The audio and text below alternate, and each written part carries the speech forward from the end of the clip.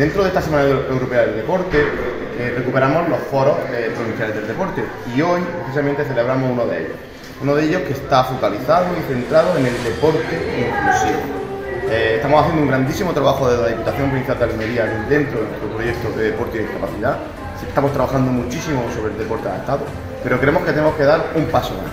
Un paso más en toda la provincia de Almería, en todos los actores que están relacionados con el deporte, para que el deporte sea un deporte en inclusión.